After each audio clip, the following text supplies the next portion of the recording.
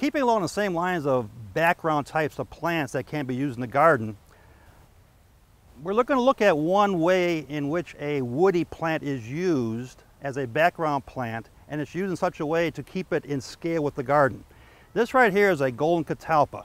Uh, if left to go, this tree can be quite large, but in this case, the tree is handled in a way to keep it small, in scope with the garden, and offer a real nice background for the garden. This particular plant is about, oh, 8 to 10 inches in diameter.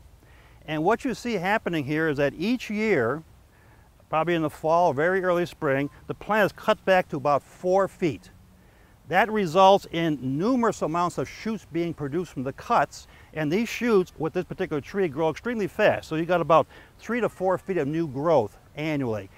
And as a result, you end up with a very large shrub, if you will. So we have a tree that's basically kept in scale to a shrub size, offering again a background for the particular sitting area.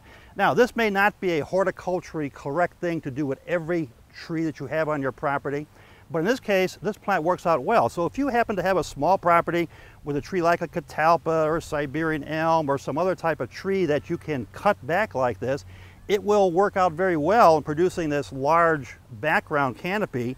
And if done annually, you can keep the plant to about the height that you want for your landscape. So again, consider this as a potential background plant.